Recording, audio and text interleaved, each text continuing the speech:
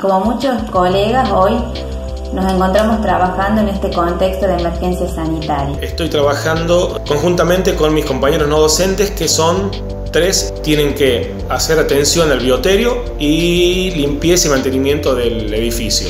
Mi propósito o aporte es seguir manteniendo las actividades eh, del dictado de clases de manera virtual e interacción con los alumnos. También seguir manteniendo activos los proyectos de investigación. Me desempeño en el área de catering, en donde todos los días junto con mis compañeros de servicio desarrollamos nuestras actividades tomando todas las medidas necesarias para sobrellevar amenamente esta situación que nos está atravesando.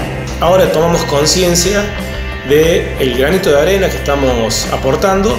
Un momento en el que nos invita a pensar y a resignificar nuestras prácticas, buscando la posibilidad de hacer presente a la universidad pública. Es muy importante que nos quedemos en, en el hogar, seguir aportando con el trabajo de todos. Quiero saludar en el Día del Trabajador a todos los compañeros que hoy resignifican su labor duplicando su esfuerzo y compromiso. Me gustaría agradecer y valorar el sacrificio y esfuerzo de cada uno de los integrantes de esta hermosa familia que es el Hospital de Clínica, en especial a mis hermanos y compañeros no docentes. Un abrazo para todos los compañeros y feliz Día del Trabajador. A todos un muy feliz día. Feliz día a todas y todos.